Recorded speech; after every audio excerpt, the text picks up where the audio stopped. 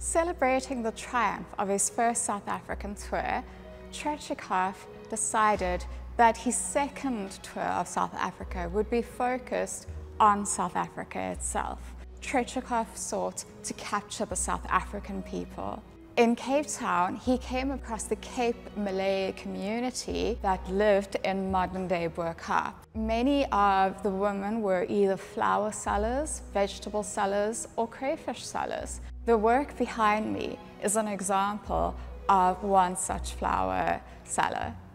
This work is beautifully rendered with a confident face of a Cape Malay woman about to go about her daily business selling flowers. This triumphant work by Tretchikoff will be going on sale in our March flagship sale. Please do join us and place your bid on this lovely work.